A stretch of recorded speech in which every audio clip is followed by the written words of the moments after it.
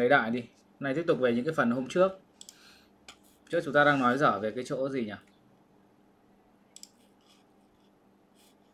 Về à,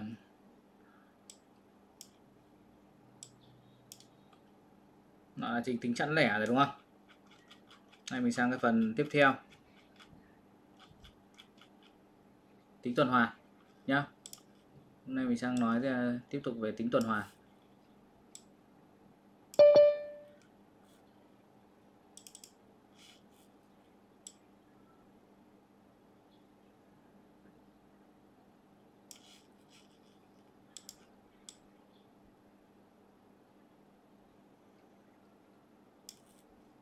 Nào các bạn quan sát về tính tuần hoàn này. Chúng ta đi vào cái à, tính tuần hoàn nhé tiếp tục về hàm số lượng giác bài tập à, trắc nghiệm về hàm số lượng giác nhé mình sẽ thực luyện tập về hàm số lượng lượng giác này. Tiếp. Thì ở đây mình nói câu 31 câu 31 này. Hỏi trong các mệnh đề sau mệnh đề nào là sai? mệnh đề là sai? Đấy, ở đây nó cho bốn mệnh đề. Tương ứng với sin cốt tang cô tang. Thì ở đây có nào sai đây các bạn? Ai, ai biết phương án là câu này nào? Ai biết đáp án câu này? Ấn giơ tay để xem nào.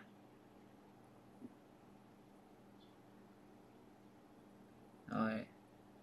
Rồi ok. Các bạn khác đâu nhỉ? Ai biết được đáp án câu 31 giơ tay xem nào?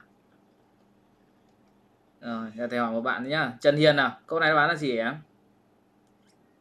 Em thấy đáp án là C ạ. ừ, tại sao lại là C nhỉ?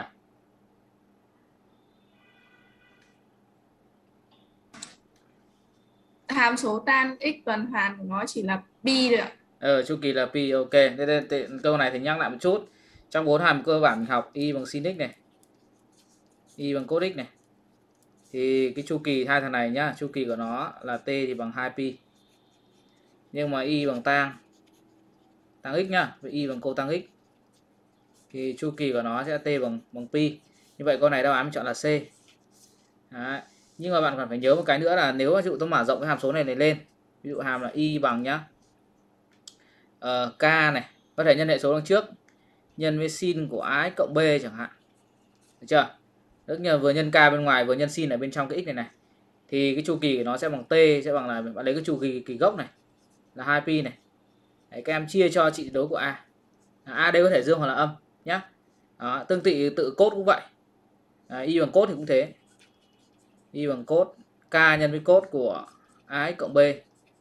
Đấy, thì chu kỳ của ta t cũng bằng 2 pi chia trị số của a. Được chưa? Đấy, đấy là hai cái hàm suy ra từ cái hàm hai cái hàm đầu tiên nhá còn nếu hai thằng tam với cô tang này thì suy ra này ví dụ hàm số thì có y bằng là k nhân với tang của a cộng b. Đó thì bạn cũng suy ra chu kỳ của nó t bằng lấy cái gốc này chia trị đối của a. Tóm lại đây giờ chúng ta chỉ quan tâm đến cái gì thôi. Chúng ta chỉ quan tâm đến cái hệ số của a này. Còn cái bên ngoài muốn nhân cái gì nhân kẻ này. đây này em nhìn này. Đấy và mình chia trị đối của a dưới mẫu này. Thấy không? Đấy, tương tự cô tang cũng vậy nhá. Đấy, cô tang thì y bằng k nhân với cô tang của a cộng b. Thế chu kỳ của mình sẽ là pi trên trị đối của a. Ok chưa? Đấy, tương tự như vậy. Đấy, à, với câu với câu 31 này chọn là C. Nha 31 chọn C. Rồi em xem thầy câu 32 này. Em sát đề bài câu 32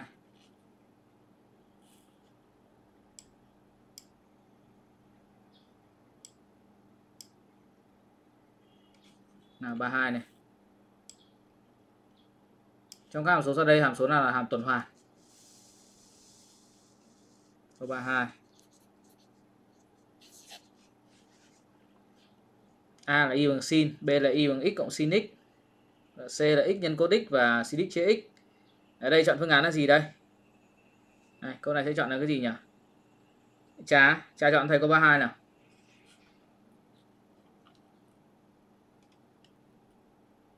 Thế của em mà thầy?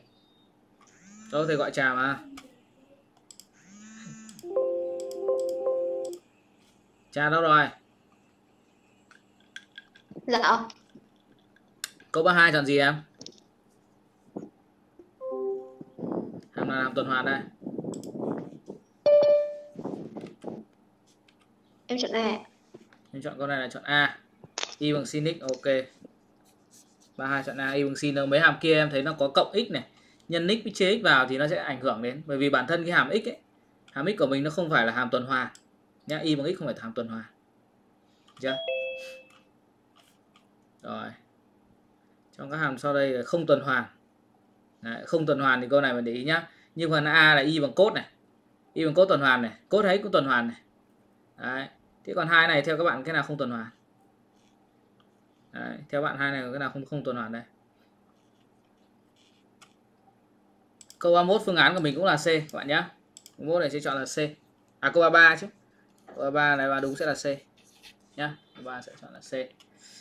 Giờ sẽ sang câu tiếp này, câu 34 nào, câu 34 các bạn gõ cho thầy xem là bạn sẽ chọn phương án là gì. Em gõ vào chat đi. Câu 34 tìm chu kỳ của cái hàm là sin của 5x trừ pi trên 4 tư cho hàm là y bằng sin của 5x trừ pi chia 4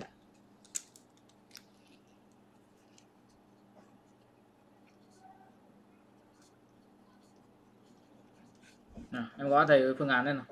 Chọn gì? Rồi ở đây thì bạn nhớ này cái dấu hiệu đây là gì? Quan sát à đầu tiên là nhìn hàm sin. Hàm sin. Sin thì hàm cơ bản của nó chu kỳ cơ bản của nó có phải là 2 pi không? Đấy, đối với sin uh, x thì là 2 pi nhưng bên đây sin của 5x cơ. Thế vậy phải lấy 2 pi chia 5 được chưa? À, 2 pi chia 5 đáp án là a ok và tư đúng rồi. Nào xem thầy câu này. Câu 37 nào câu 37 Thầy cho hàm là y bằng cos 2x cộng với sin của x trên 2 nhá cos 2x cộng sin của x trên 2 à, các em xem thầy là bài này sẽ chọn phương án là gì? 37 gõ thầy cái đáp án các em ra nào. Đấy, các em gõ thầy là 37 gì nhá. Ví dụ 3337A chẳng hạn thế. Thì mình sẽ phân biệt được những câu sau nó khác đi nhá. 37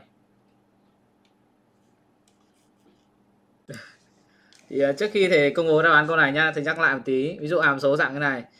Uh, nó có ta có một hàm số y bằng fx cộng với gx chẳng hạn. Cứ nói hai hàm đi nên là tổng quát. Thằng f này có chu kỳ là t1 thằng g chu kỳ là t2 được chưa? Thế vậy thì cái hàm mà tổng hợp ở đây này gộp này cộng hoặc là trừ cũng được nhá. Đấy, thì chu kỳ nó sẽ là gì? Chu kỳ thằng này sẽ là cái gì chu kỳ của nó mình sẽ tính như sau mình sẽ lấy là ước à, lấy bộ chung nhỏ nhất của hai ông này của T1 với T2 nha mình sẽ tìm cái số nguyên nhỏ nhất mà chia hết cho cả hai thằng này. Nhá hiểu là cái số nguyên nhỏ nhất. Tất nhiên là số nguyên là phải bỏ bỏ cái pi đấy nhá đấy, số nguyên nhỏ nhất mà nhân với lại pi thêm vào pi nữa nhá. Đấy, chứ không phải là không không có pi đâu. Rồi thế vậy chu kỳ của cốt 2x này thì có phải chu kỳ gốc của cốt là 2 pi không? Nhưng mà mình chia cho hai. Đấy, vậy chu kỳ này là là pi các em nhé Đấy, sin x trên 2 thì chu kỳ gốc của nó sin thì là 2 pi. Nhưng mà chia cho 1 phần 2 thì thằng này chu kỳ là 4 pi. Thế vậy thì bộ chung nhỏ nhất của pi và 4 pi là gì? Tùng? Là 4 bị đúng rồi. Pi là 4 pi chu kỳ chu gốc à, chu kỳ của nó bộ chung nhất sẽ là 4 pi. Vậy thằng này chu kỳ là t là 4 pi nhá. Đáp án A ok chữa vào. Nhanh các thanh niên này. Nào 37 xong rồi nhá. Coi như là là giờ cho con này gỡ này. Con này gỡ nhá 38 nào, làm đi. Nào 38 nhá. Nào 38 là gì đây? Tìm án ra thầy đi. 38 chọn gì đấy ấy à 38 này. Lại B với C. 38 nào 38 nha. Phân tích nha câu 38 này. Nghĩa ra mình thấy ở đây là một thằng là nó cho y bằng cốt của 3x cộng với cốt của 5x thì thằng này, chu kỳ gốc của cốt là 2 pi không? Chia 3 nhá. Cốt cũng là gốc là 2 pi này, nhưng mà chia cho 5 thế vậy thằng nào dây chia hết được cả 2pi trên 3 đến 2pi trên 5 bội chung nhỏ nhất của 2 pi trên 3 và 2 pi trên 5 chính là 2 pi. Vì sao nhá? Em lấy 2 pi này mà em chia cho 2 pi trên 3, em được 3 lần. 2 pi trên 2 pi mà chia cho 2 pi trên 5, em được 5 lần. Được chưa? Đấy, được nhá. Chia nó phải ra được số nguyên các em nhá. Đó thì cái chu kỳ ở đây mình sẽ chọn là 2 pi. Nha, câu này chọn đáp án C. Đáp án C thì là đúng rồi. Nào sang 47 nhá. Xem thầy câu 47 chọn đáp án gì. Nào suy nghĩ nào. 47 nhá.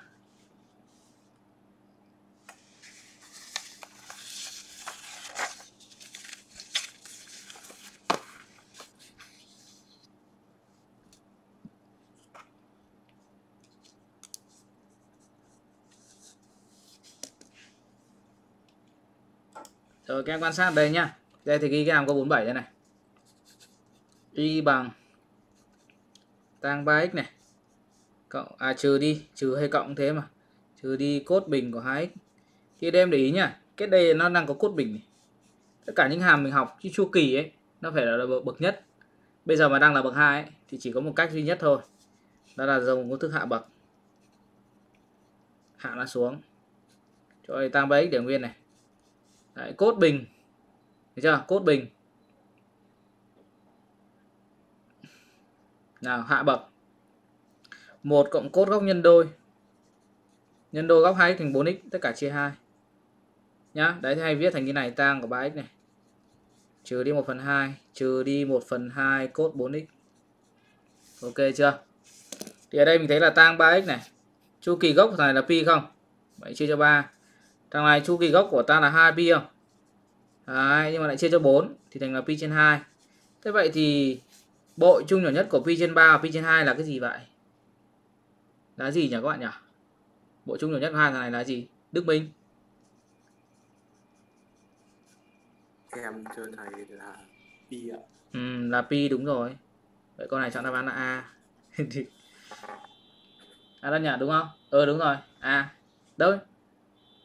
Xem là pi trên 3. Ừ, ok đáp án là a đấy đây ai ra a thì là đúng nhá 47 cái chu kỳ là pi thể nào tìm uh, chu kỳ của một hàm mà lại nó làm bậc cao như này được nhá. Bậc cao này không không ok đâu nhá. Đây này lưu ý cốt bình không để nguyên này không được đâu nhá.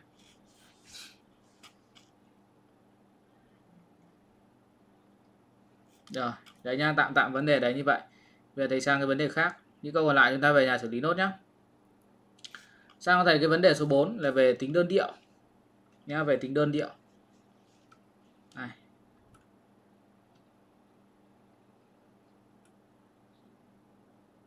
Đấy.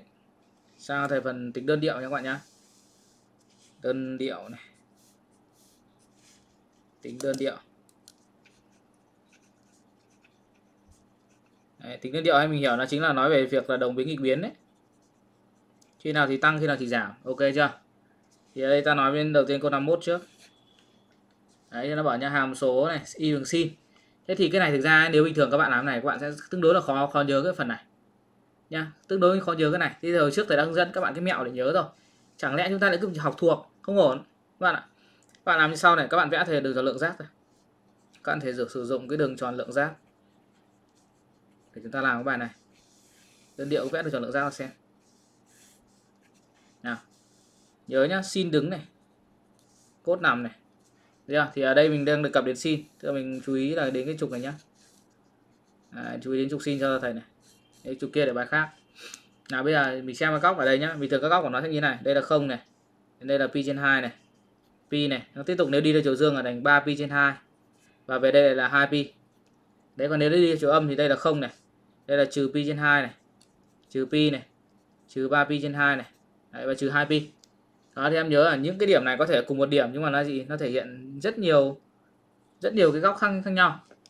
Nhá thế để mình xem này. Bây giờ này cái hàm số sin của mình tăng lên khi nào đây? Em để trong cái vòng này này. Khi mà góc của ta góc là chạy trên cái đường tròn này còn giá trị sin thì chạy trên cái cái này. Đấy, chẳng hạn một vị trí góc ở đây thì sin muốn xác định nào thì ta gióng góc xuống cái trục đấy đúng không nhỉ? Đấy, muốn xác định sin cốt thì từ một điểm trên đường tròn này. Em gióng góc xuống cái trục đấy nó rơi vào đâu thì cái khoảng cách từ từ ô đến đấy này cái độ dài cái đoạn này này. Đấy, cộng thêm dấu nữa chính là giá trị sin của nó. Tương tự gióng xuống cốt thì nó sẽ là là cốt. Nhưng mà này chỉ cần sin thôi thế vậy thì anh để ý này khi góc của ta trong cái miền thầy đang đánh dấu này. Đấy, nó chạy từ dưới đây đi lên trên đây.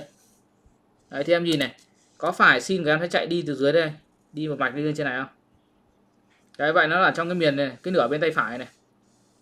Cái nửa vòng tròn bên tay phải này có phải là trị sin của mình tăng lên không? tức là trong cái miền này hàm số của mình đồng biến. Ok chưa? Ngược lại nếu mà nó chạy ở bên vòng bên này. Đấy, vòng vòng bên này cái nửa vòng bên này này bên tay tay trái này thì bạn nhìn nhá. Sin của em nó chạy để từ đây xuống đây, giảm. Nhá, nó giảm từ 1 về âm 1 đấy, bên này sẽ là nghịch biến. Đấy, sẽ là cứ nửa khoảng đồng biến này. Nửa vòng tròn là đồng biến này, nửa vòng tròn nghịch biến này. Xong lại nửa đồng, nửa nghịch, nửa đồng, nửa nghịch. Nó cứ đan xen như vậy. Nhá, thế là phải xem là cái bầu này chọn đáp án gì. Ví dụ là đây này như vậy là nó sẽ đồng biến trong khoảng gì đây? Ví dụ là nhìn nhá, đồng biến, nhìn hết dọc câu đồng biến trước đã đồng biến trong khoảng từ pi trên 2 đến pi. Nào đây là pi trên 2 đến đến pi. Pi trên 2 đến đến pi là nó nghịch nghịch biến không? Vậy có a sai chưa? A gạch nhá. Thầy đọc nửa đầu thế là thầy gạch luôn rồi. Câu b này. Đồng biến trong khoảng từ trừ 3 pi trên 2 đến trừ pi trên 2 trừ 3 pi trên 2 là là chỗ này. Đấy, đến trừ pi trên 2 là là chỗ này. Trừ 3 pi trên 2 trừ pi trên 2 có phải nghịch biến không? Đấy, nó ghi đồng biến này gạch. Tiếp tục câu C này. Nó bảo là đồng biến trên khoảng từ 0 đến đến pi không đến pi à không đến pi đồng biến đúng rồi. Ok, nửa đầu đúng nhá. Nghịch biến trên khoảng là trừ pi 2 đến 0 trừ pi trên 2 đến 0 trừ pi 2 đến 0 này nhìn cái vòng tay thể đang ấy này, nó đi lên này này. Còn này đồng biến đúng không? Nửa bên phải đồng biến, mà nãy bằng nghịch biến, sai rồi. Vậy theo lẽ tự nhiên là khoanh D đúng không? Nhưng mà xem D đúng không nhá. Đồng biến trong khoảng là trừ pi trên 2 đến pi trên 2 nghịch biến trong khoảng là pi trên 2 đến pi trên 2 ui, chuẩn đét luôn. D, đáp án chính xác. Nhá nhìn đến đường tròn lượng giác này nhớ là sin đứng cốt nằm. Nghe trục sin là thẳng đứng này trục cốt là nằm ngang này. Đấy, là cái cách mình nhớ cho đơn điệu. Mà em cứ nhìn nó tăng lên thì là tăng lên thì là đồng biến xuống thì là nghịch biến. Còn đường tròn lượng giác ấy cái chiều dương của nó luôn là chiều ngược ngược như cái đồng hồ nhá. Người ta luôn đi như này này. Nhá thứ tự nó đi như này này. Nhá nó không đi ngược lại nhá ngược lại là mình đi theo chiều âm rồi. Góc thông thường là góc góc người ta tính theo chiều dương nhá. Góc nó đi xuôi như này một khoảng luôn phải đi từ âm đến dương mà. Đi đi từ bé lớn đấy còn đi theo chiều âm là do mình tính cái góc đấy theo theo chiều âm thôi. Đấy, đây là câu à, uh, 51 là chọn D. Nào bây giờ mình sang câu tiếp này câu 52 nào câu 52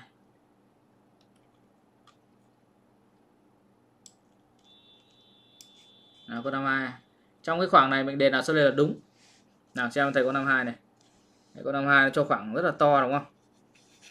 Nó cho là mình là x thuộc khoảng từ 31 pi trên 4 đến 33 pi trên 4 thì mình đề là, là đúng.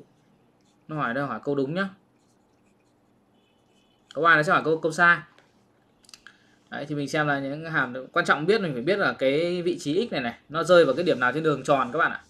Nó vẫn liên quan đến bài bài trên nhưng nó rơi vào điểm nào trên đường tròn. Thì giờ bạn quan sát nhá. Bây giờ thầy phải xử lý cái góc này đã. Làm cho nó nhỏ lại đã nhá làm nhỏ lại đã. Thì đầu tiên bạn giúp thầy bấm với thầy này. Ví dụ mà 31 pi trên 4 đấy nó sẽ là khoảng bao nhiêu? Đây ví dụ thầy lấy máy tính thầy bấm này. Bấm luôn thao tác cho bạn xem này. Đây nha ví dụ 31 pi trên 4 này thì thầy nhập 31 chia 4 đi. Bạn ấn bằng này. Nó nó sẽ khoảng bao nhiêu đây? Nó sẽ khoảng là 7,75 nhá. Đấy, 31 pi trên 4 mà 31 phần 4 là 7,75 nhé 7,75 pi. Ok chưa? Thì hôm trước lúc hồi xưa thầy dạy các bạn là đầu tiên các bạn tách cho thầy định là các cái um, cái bội của 2 pi trước. Này các bạn tách thành các cái nhóm là gồm 2 pi này gồm pi rồi gồm pi trên 2 sau đó mới ra cái phần lẻ riêng ra nhá. Thì 2 pi thì mình thấy à đầu tiên nó gồm có 6 pi trước này. 775 6 pi này cộng pi này. 6 là 3 lần 2 pi mà. Đấy, cộng pi xong rồi 0,75 thì cộng với pi trên 2 nữa. Là cộng với pi trên 4 nó tách như này. Ok chưa? Nếu mình tách này thì mình sẽ dễ dàng xác định nó ở chỗ nào.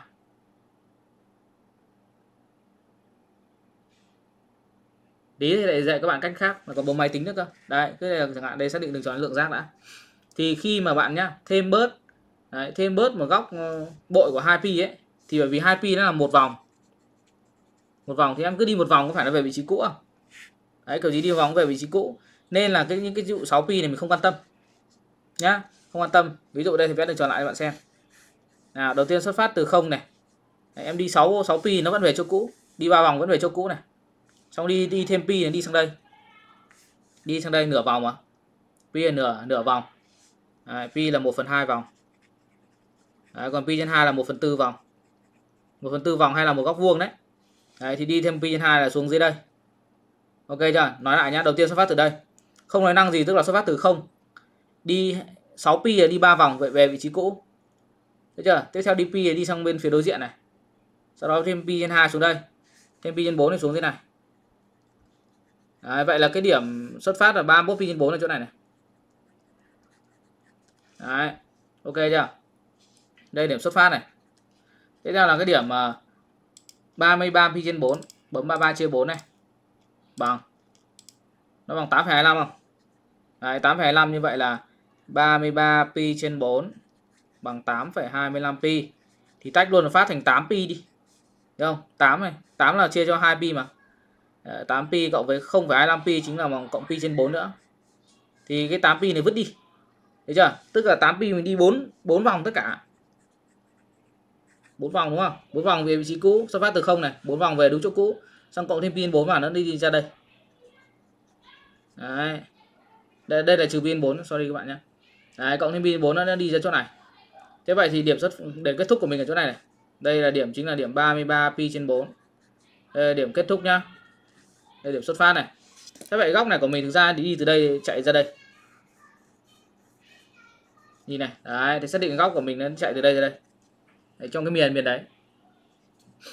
Thì trong cái miền này mình để ý à, cái giá trị sin lúc đầu là chỗ này nhá. Đối với chỗ vị trí dưới ở đây. Dòng xuống sin mà. Đấy, ví dụ đây, dòng đây này thì sin ví dụ sin như này sin tăng không? Đấy, sin thì tăng lên. Đấy, sin thì tăng là đồng biến. Các bạn nhìn đây là mình viết ngay là à tôi nhìn đây tôi sơ sơ đây tôi thấy là câu C đúng cái này. Thấy không?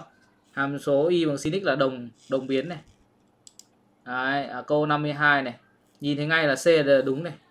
Thấy chưa? Chắc chắn nhìn đây là mình thấy thấy là sin tăng lên này. Nhưng còn cốt thì sao? Cốt nhìn nhá, nếu dòng xuống cốt này. Đầu tiên là vị trí này. Nó đi vòng ra ngoài mép đầu tiên ở ngoài này, xong đi vòng ngược lại. Thì lúc đầu thì tăng, lúc sau thì giảm. Không biết. Nên lúc tăng lúc giảm thì không thể nói được biến nghịch biến luôn được trên cả khoảng được. Đấy. Ok chưa? Đấy thì ở đây mình sẽ thấy là đáp án câu 52 mình chọn là C. Đấy, trong cái khoảng từ Ừ, từ 31 pi trên 4 đến 33 pi trên 4 thì rõ ràng góc của em ở đỏ đỏ này. Thì cái giá trị sin nó chạy trên cái trục sin này này. Nó chạy chỉ có tăng lên thôi. Đấy nó, nó cũng chính là phía bên tay phải mà nửa vòng tròn bên tay phải mà. Thì làm cho sin tăng lên. Đấy, sin tăng lên thì là đồng biến. Đáp án C. Đấy là nội dung câu 52 nào với câu 52 bây giờ thầy một bấm máy luôn. Đấy, không thông qua ấy nữa. Thì thầy làm như sau nhá nào bây giờ quan sát cách làm của thầy này. Thầy dùng một cái tính năng ở trong máy tính. Đấy từ một tính năng trong máy tính này. Chúng ta cùng ấy vừa chúng ta ghi cách cách bấm. Nha. Này ghi đánh dấu sao lấy bút đỏ mà ghi này. Đó là sử dụng máy tính để kiểm tra tính đơn điệu của cái hàm số lượng giác nhá. Đấy, để kiểm tra tính đơn điệu hàm lượng giác.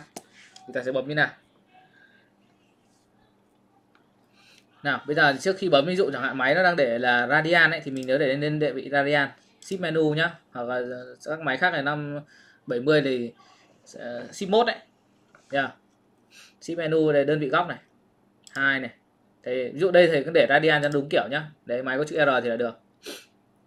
Sau đó này ấn vào menu chọn ra thầy menu 8 nhá. Chúng ta dùng cái tính năng đó là table. Table đối với 580 ấy. Bấm menu 8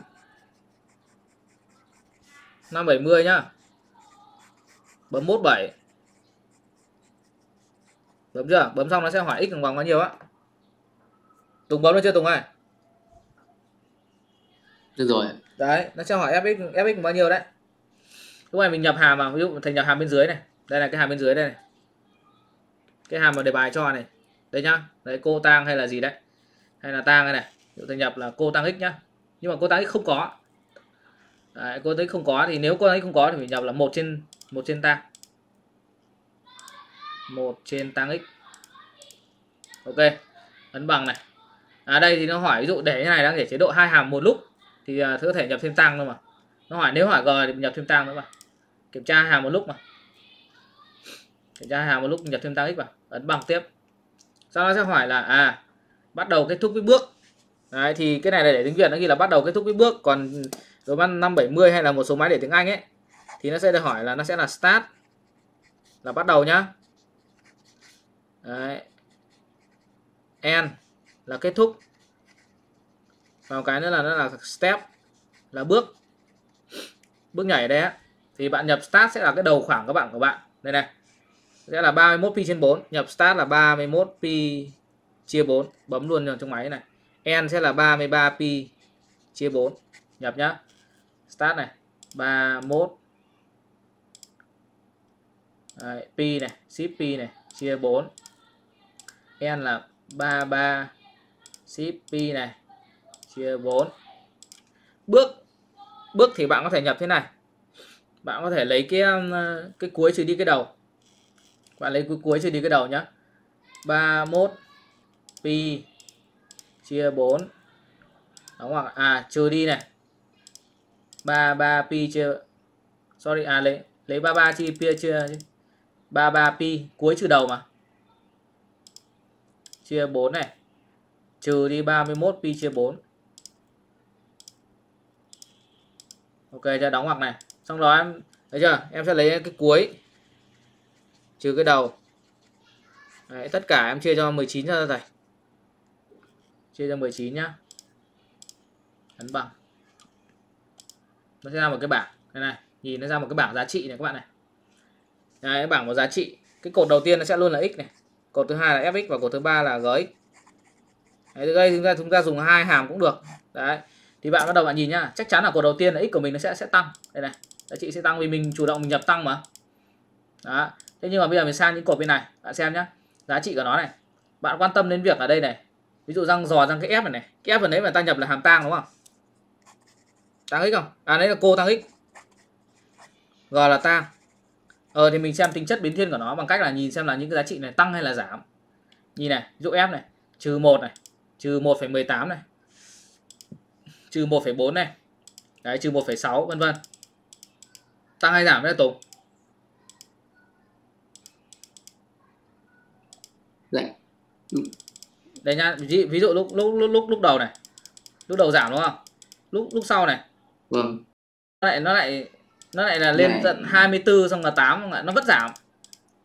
Nhưng mà nó chẳng có chỗ nào tăng cả. Đó, đúng không? Nói chung là hàm đầu tiên này là nghịch biến nó giảm mà. Đấy, giảm đến cái luận nghịch biến. Thằng thứ hai hàm g này nhìn sang đây này. Đấy, nhìn này. Trừ 1 này. Trừ 0,846 này. Trừ 0, bao nhiêu này? Ừ thằng này nhìn nó có vẻ tăng này tăng này. Tăng. Ok đây thằng này thằng này tăng thằng này đồng biến. Thằng này tăng đồng biến. Nhưng nhá tại sao thì lại loại thằng thằng cô tang này đi? Bởi vì em nhìn kỹ ở đây sang này này. Thầy cho em quay lại cái cái này em nhìn này. Đây, em nhìn này em nhìn lại cái ép này. Lúc đầu đúng nó giảm thật. Đây là giảm từ trừ 1 này trừ 1 mấy này trừ 1,4 này trừ 1,6 này đấy nó vẫn đang âm này nó âm nhiều đây này. Xong rồi tự dưng đang trừ 24,7 17 lại nhảy lên phát 24,17 xong mà được đúng không? Đây này. Đây đây không đúng nữa. Đoạn sau thì đúng là giảm thật đoạn đầu cũng giảm. Đoạn sau cũng giảm nhưng mà ở đây này giữa hai giá trị em thấy là nó đâu có ok. Tự dưng như này là nó không ok đúng không? Đấy nếu nó giảm nó phải giảm giảm đều. Giảm đều trên cả khoảng ấy thì mới gọi là nghịch biến. Nhưng đây là giảm trong từng cái khoảng một. Đấy, khoảng đầu tiên là giảm khoảng thứ hai lại giảm thì hai này cái này không tính được nhá. Thì à, AB là loại như vậy sau khi bấm phát đầu tiên thì AB là cả loại hết. Loại hết hai này không được. Bây giờ ấn ờ, à, Đấy, AC này nhập nhập lại này. Bạn ấn AC nó sẽ hỏi lại hàm. Xóa đi. Nhá xóa đi này. Bây giờ ví dụ thằng nhập sin nhá. Sin x là f này. Bằng. Hàm thứ hai thì nhập là code x. Code x nhá. Đấy, f thì là sin. G thì là code bằng này để nguyên cái cái khoảng như vừa nãy. Đấy mình đang để sẵn đấy rồi. Nó sẽ lưu lại cái kết quả cái cái cái start cái end của cái hàm ngay trước đấy các bạn bấm. Nên nó cứ để nguyên bằng luôn đi. Đây giờ dở trở trở sang cái phần này xem. Nhìn này trừ 0,707 trừ 0,6 trừ 0,5 trừ 0,5 tiếp. Nào tăng hay giảm đây? Đấy, tăng hay giảm đấy các bạn. Nhìn thấy thầy thế nào?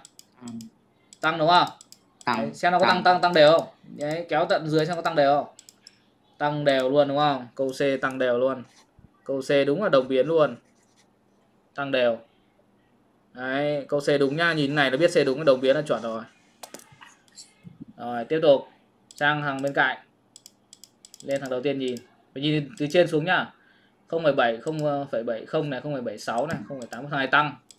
Thằng này đồng biến mà nó lại bảo nghịch biến này tức là lúc đầu tăng này. Bạn nhìn lúc đầu là nó tăng tăng lên này. Tăng nhưng xuống lại giảm. Đấy giờ đúng như mình đấy mình phân tích nhá. Tăng lên xong rồi sao lại giảm xuống này? Đấy lại chín mấy lại xuống tám mấy này. Đó. Thằng này là thằng D lúc thì tăng. Tăng xong rồi lại lại giảm. Vậy sai chưa? Đấy, nhìn vào đây đọc số là biết. Đấy là trường hợp mà các bạn không thể dùng đường tròn lượng giác được ấy để ghi nhớ thì phải chơi kiểu này. Bây giờ thử cho câu khác các bạn bấm nhá. Nhìn này. Giờ thử một câu dưới. Đây đây cho câu năm năm bàn. Đây. Nào quả này nhập máy tính luôn cho thầy này cho nhanh này. Nào chơi câu 53 là cửa bóng máy nhá. Nào, bóng máy con 53 thầy đây. Nhập thử đi các bạn.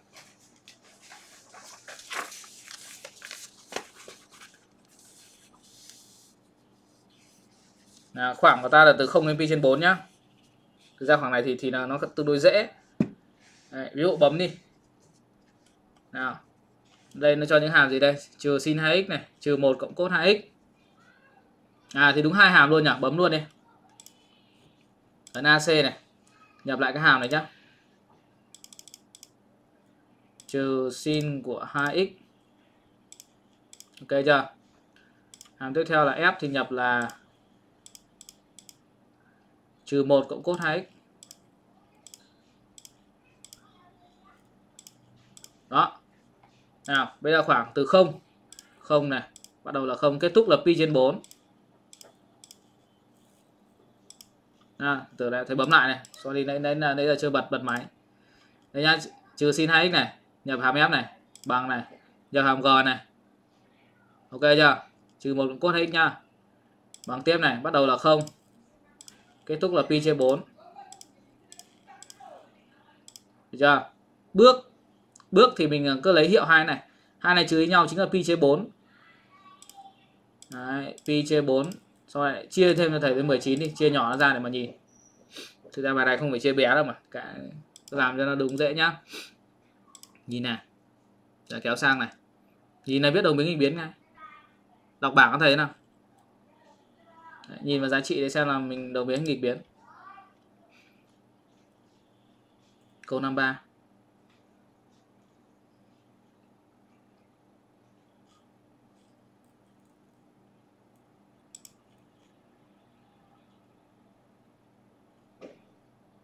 Đồng hay nghịch cả các em? nghịch Hàm đầu là nghịch, đúng không? Giảm. cả hai đi Cả hai luôn à? Thằng kia cũng giảm đúng không? vâng Thằng kia cũng giảm. Vậy để chọn đáp án gì đấy? À, Hai thằng cùng giảm. Vậy câu 53 chọn là A. Thấy không? Cái này nó có ích trong cái trường hợp mà những cái hàm mà nó khó những hàm nó không quen thuộc thì nó khó thì ta chơi kiểu này rất ngon Đấy, nhưng hàm cơ bản mà bạn lại, lại bấm máy thì nhiều khi nó còn mất thời gian được chưa? Nên là cái này nó không phải là là kiểu kiểu vạn năng đâu nhá. Đấy. phải cân nhắc khi sử dụng. Nào làm phát nữa. Nào các bạn tự bấm cho thầy câu 55 nào tự bấm kiểm tra câu 55 cho thầy. Xem là câu 55 chọn đáp án gì. Chọn là đáp án thì uh, gõ phần chat ra thầy xem. Đấy nha bấm này. Quan sát 17 à đây máy đang đang để độ đổi đổi lại đã nhá. Đổi lại đã này shift mode này. Để về radian shift mode 4 đổi về radian lại nhá. Máy để chữ R là xong rồi nhá. Mode 7 nhập F vào này. Hàm thứ nhất là tang. Tang của ờ, uh, 2x cộng pi trên 6 thì ấn alpha x thôi pi chia 6 đây. Sau thứ nhất nhá. G thì là bập, ví dụ nhập là cô tang đi, cô tang thì không có, đúng không? Nhập là một trên tang. Một trên tang của 2 cộng pi nhân 6 tại vì máy nó không có cái nút. Cô tang.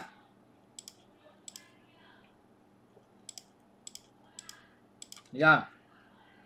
Một trên một trên tang nhá. Bằng. Start là, ở đây là bài đó là nhập trừ pi trên 3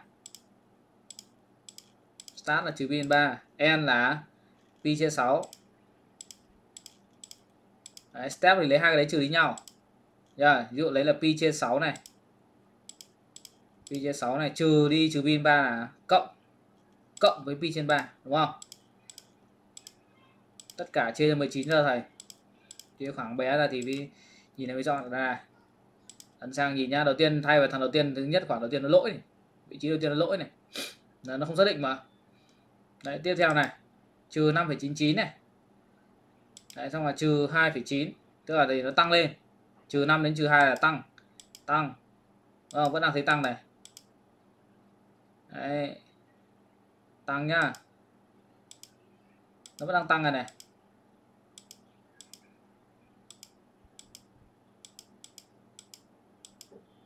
À, đến đây nó lại bị lỗi phát này. Ừ. đến đây bị lỗi phát này em này.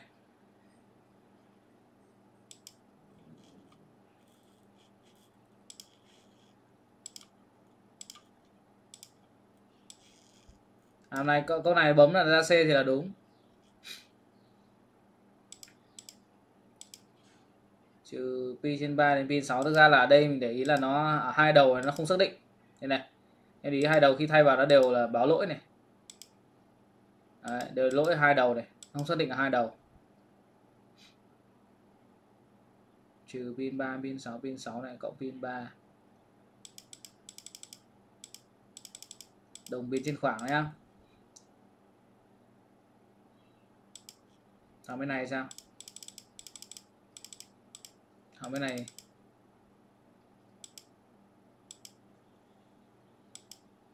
Thằng này đầu tiên giảm à?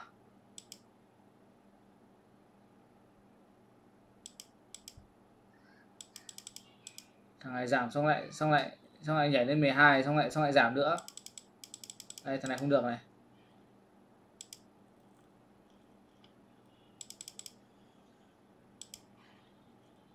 Một kiểm tra này là 2x cộng pi chia 6 ok. Khoảng từ trừ pi trên 3 đến pi chia 6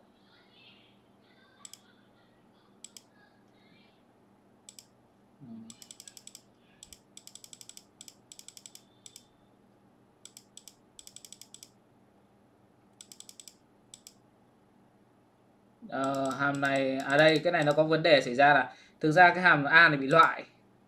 Lý do là nó sẽ có một cái giá trị không xác định ở giữa đây này. Nhưng mà do cách cách bấm này là nó đôi khi là máy tính nó có có cái cái giả nếu ai không thực sự hiểu ấy thì đây ví dụ nhìn qua ở đây thì nghĩa hàm a được rồi. Tại vì em nhìn thấy nó, nó đều tăng hết nhưng ở trong cái khoảng này này trừ pin 3 pin 6 nó sẽ có một cái không không xác định ở đây ở trong đây này. Đấy, là con này bị loại. Nhưng AB là bị loại nhá. Rồi, kiểm tra thử cái sau cái C C nhá là sin. Sin của 2x Đấy, 2x cộng pi chia 6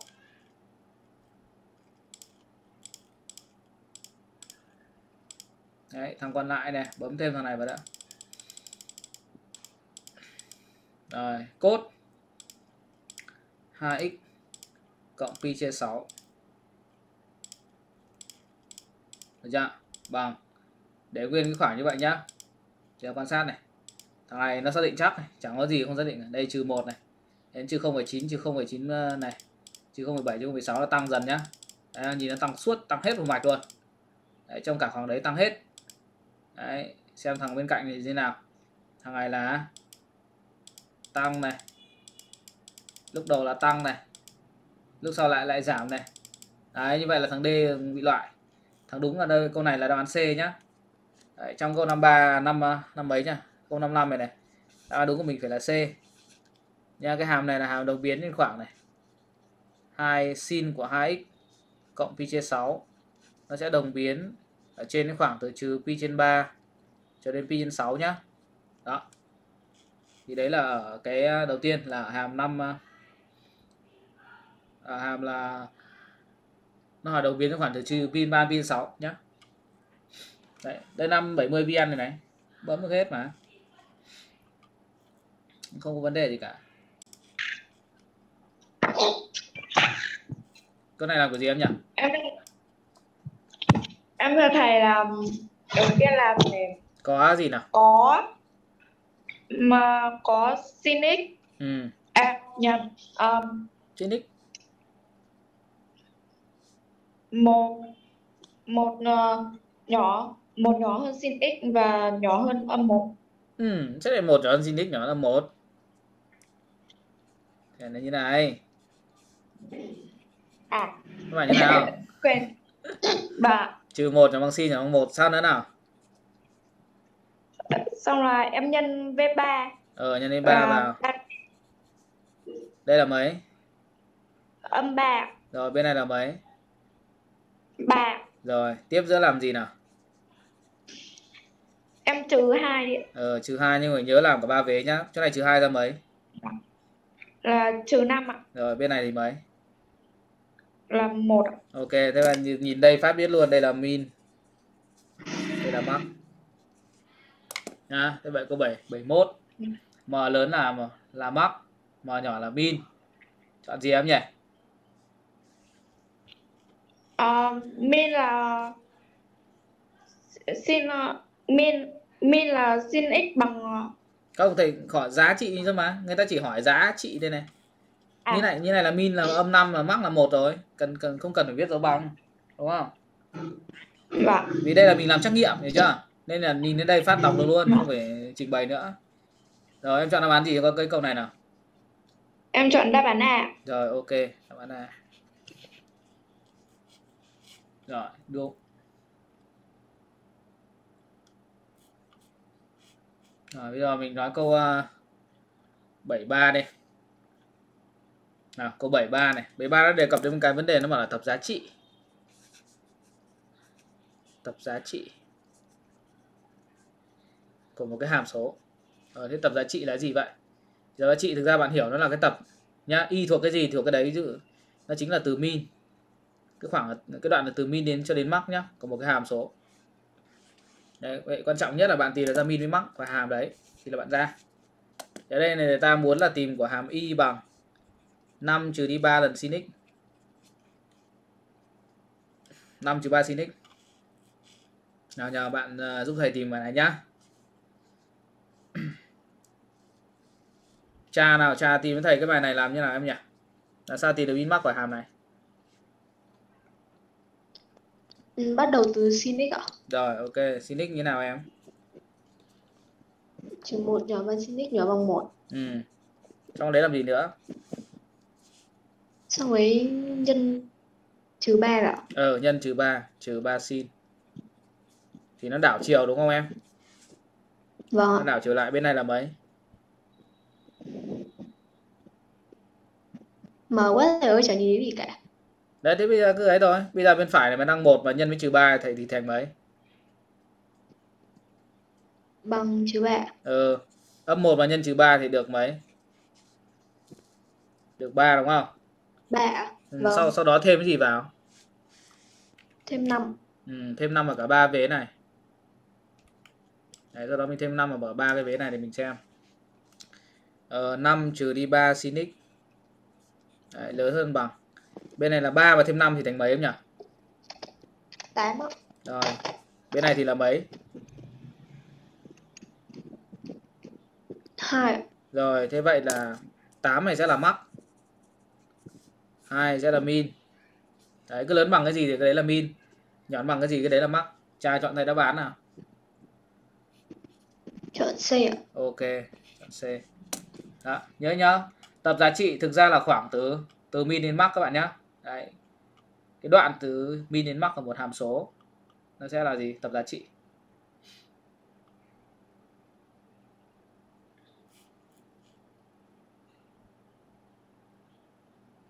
Nào, tương tự như vậy các bạn làm thầy câu à, nào. Các bạn làm câu 74 nào. làm câu 74 và gõ đáp án ở phần chat đó thầy thầy xem nào làm 74 rồi các bạn làm 78 ra thầy đi.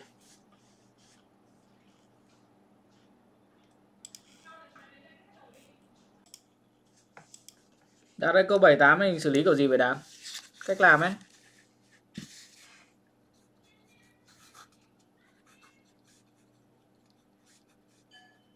Đạt Nói thì nghe cách làm của em nào.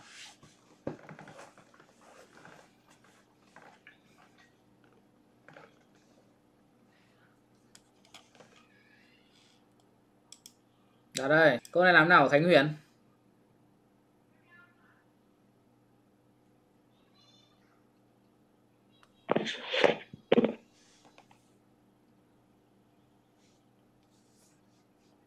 Em làm thế nào em lại ra đáp án là là B? Nếu thầy nghe xem nào.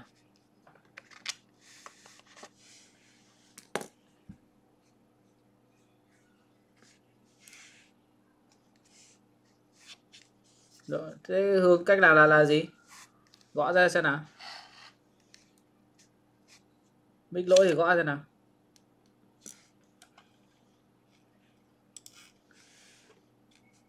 Đây nhá, cái này có phải mình giấy dạng là cứ khi nào mình bảo là gặp dạng asin cộng B cốt không? Thì mình nghĩ trong đầu mình đến là mình mình chia cho căn của A bình cộng B bình. Đấy, đây là cái ý tưởng là xử lý cho câu này. Thì ở đây A, B của mình là bằng 1.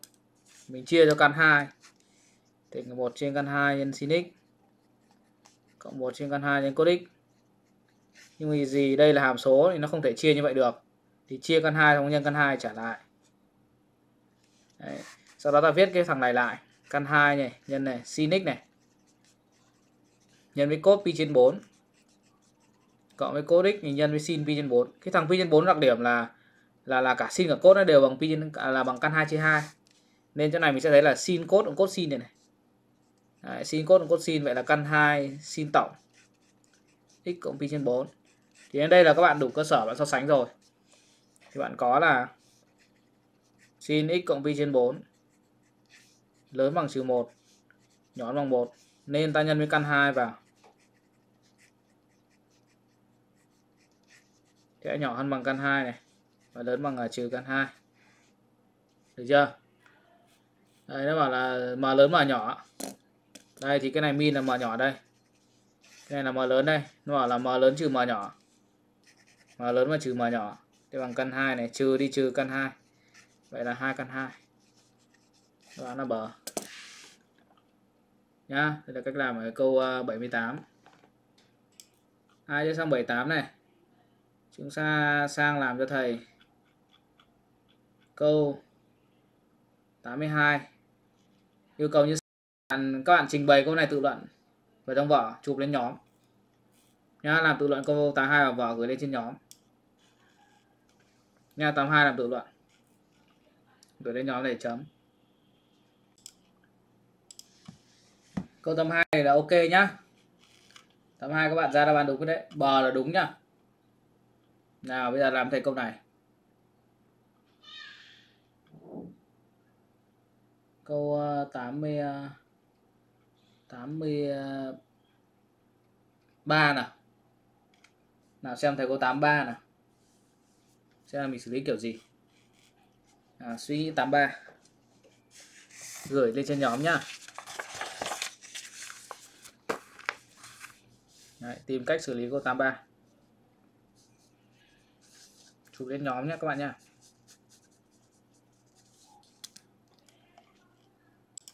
câu này các bạn nghĩ ra chưa? Thấy mỗi tùng nhắn. Các bạn khác nghĩ không? Để ghi cái hàm ra nhá. Y bằng này. 4 sin bình cộng căn 2 nhân với sin của 2x cộng pi trên 4 thì chắc chắn cái sin bình này phải đổi, phải hạ bậc rồi. Sin bình nó bằng 1 trừ đi cốt góc nhân đôi nhá tất cả chia 2 thì ở đây mình để ý là à cái à, cái này mình tí nếu mình chia xuống nó sẽ có cốt 2x đấy đi lấy 42 chia cho 4 đi thì đây còn hai trên tử thôi mẫu hết. Thì đây mình sẽ tách cái này này. Cái này đây là sin tổng các bạn sin của a cộng b thì phải bằng sin sin cốt cốt sin không? Nhá thì đây là sin 2x này. Nhân với cốt pi trên 4 Đấy, cộng với cốt 2x nhân với sin pi trên 4 thì hai cái thằng này nó thực ra nó đều bằng 1 trên căn 2 hết rồi. Nó là cái chiều ngược lại ở câu trên đấy đây 2 này nhân 1 trừ cos 2x này. Cộng với căn 2 nhân về này. Cái này là 1 trên căn 2 nên viết là 1 trên căn 2 sin 2x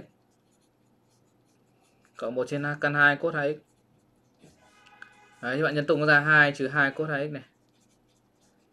Phân phối nó vào thành là sin 2x cộng cos 2x ok chưa? Sau đó mình thu gọn bớt nó đi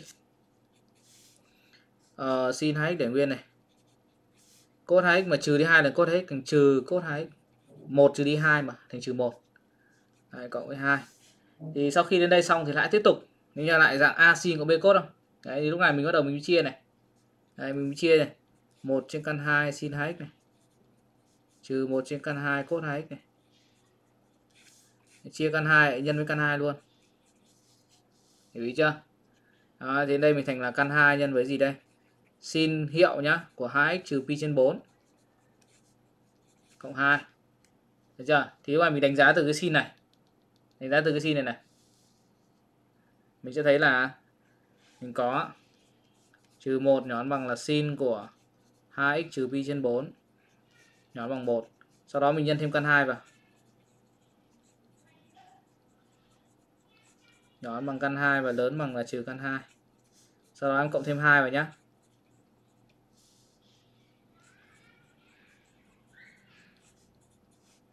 cộng thêm 2 vào này. Cộng 2 vào thì nhỏ bằng là căn 2 cộng 2 và lớn bằng là 2 trừ căn 2 2 cộng căn 2 với 2 trừ căn 2 nhé Đấy, thì đấy chính là y. Nó hỏi giá trị lớn nhất. Bây giờ giá trị lớn nhất chính là căn căn 2 cộng với 2 đây đây là mắc này. Và đáp án trong câu này của mình chọn là đáp án D.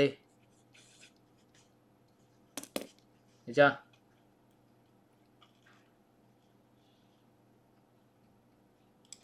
Đấy, đây thì hẳn lại đi cho nhìn cái bài làm này. Kem chữa vào rồi, bây giờ chúng ta làm tiếp thầy câu tiếp này. Các bạn làm với thầy câu 85 nha các bạn trình bày câu 85 ở trong vở. Trình bày 85 vở xong gửi lên này chấm. Nốt câu này chúng ta nghỉ. Tranh thủ đấy ra chưa các em. Tùng ơi, tùng không tùng ơi. Ra bài này chưa? Em đang tính sát sao rồi. Ờ. Làm khác sao? Thư ra bài này chưa thư? Có hướng chưa?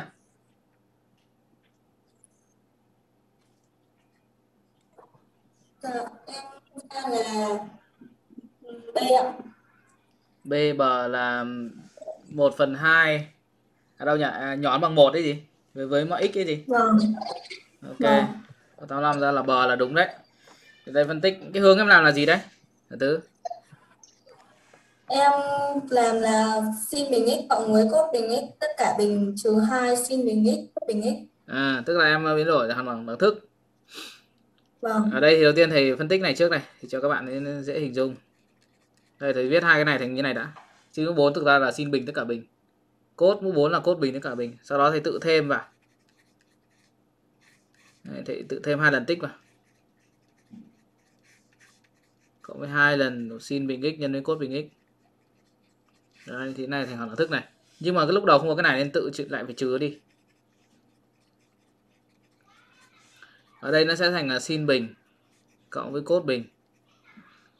Tất cả bình. Đấy, trừ đi. Hai sin bình cốt bình. Thì sin bình cộng cốt bình luôn luôn là một các em nhé đây cái này luôn là một này. Vậy một mũ hai bên vẫn là một thôi.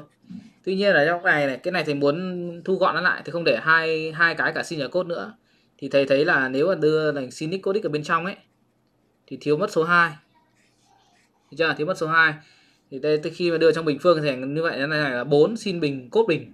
Đó nếu viết này là 4 lần sin bình cốt bình này nhưng đầu chỉ có hai thôi. Vậy nhân 1 phần 2 và trả lại. Cho nó về như hai ban đầu đây nhá. Nếu là hai sin x cos x ấy, mà bình phương lên nó thành là 4 lần sin bình cốt bình. Sin bình cốt bình ấy rồi. Nhưng mà đây là 4 mà lúc đầu chỉ có hai là hệ số thôi vậy phải nhân thêm 1 phần 2 nữa. 4 nhân 1 phần 2 về lại là 2 nha, như vậy ta ra là một này, trừ đi 1 phần 2 lần. Đây là sin 2x tất cả bình không? Hay là ghi là sin bình của 2x ok chưa? 1 trừ đi 1 phần 2 sin bình 2x sau đó ta đánh giá từ cái sin bình 2x là được. Mình có này. Không nhón bằng sin bình. Nhón bằng 1 được chưa? Sin bình với cốt bình luôn trong đoạn ờ, 01 nhá. Do đó bạn nhân với trừ 1 phần 2 vào. Lớn bằng là trừ 1 phần 2 nhỏ hơn bằng là 0 sau đó em thì em ờ, em thêm 1 vào. Lớn hơn là bằng nhỏ hơn là bằng này. Cái này không thêm một vào là chỗ này là một này. Chỗ này mà thêm một nó thành là 1 phần 2 hai này khác là cái y của ta ấy, nó là luôn luôn là 1 phần 2 nhỏ bằng y. Nhỏ bằng 1 với mọi x nhá. Đấy, thì ở đây thì đề bài nó không đề cập gì đến cái chuyện lớn một là lớn mà bằng 1 phần 2 đúng không? Nó không nói nó chỉ nhón bằng thôi. Vậy đáp án của mình đây là bờ. Câu 85 mình sẽ chọn là bờ các bạn nhé. Đấy, cái, cái câu này là chúng ta để ý là nó nó hơi khác một chút so với những cái câu tự luận mình hay làm. Thế giờ nhưng mà mình cũng cuối cùng mình cũng quy về cái quen thuộc đấy này cái này quá quen với mình rồi. Này là mình làm quá nhiều rồi. Đấy nó chỉ khác một chút là cái đoạn đầu tiên đấy, đấy nó, nó sẽ thay đổi đi. Nó biến tấu đi đấy các bạn chưa hết câu 85 rồi đi. Đấy. Rồi ok hôm nay thầy giao công việc các bạn về nhà này bài về nhà này. Làm trong cái file bài tập nọ thì gửi nhá file sách bài tập ấy. Bạn nào có sách thì mình ờ, xem luôn trong sách. Một số bạn nọ nó có sách rồi. Đấy, bài về nhà thì công việc hôm nay như sau. Các bạn về nhà hoàn thiện cho đầy đến hết câu 100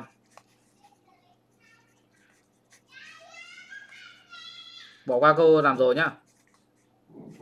Đấy, bỏ qua câu nào làm rồi. Câu đã chữa là bỏ qua này.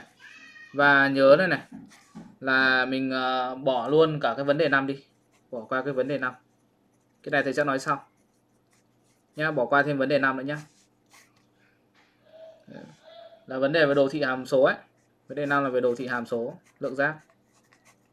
Đấy, còn lại những câu kia thì em làm làm vào vở và giải thích nhá. Nào trong vở có giải thích nha. cái câu nào mà ờ, không giải cần giải thích mà không giải thích thì câu đấy không có điểm đâu đấy. Đó, chị Huyền để ý cho thầy xem là nó là bao nhiêu câu tất cả nhé em nhớ trừ các câu thầy đã chữa đi.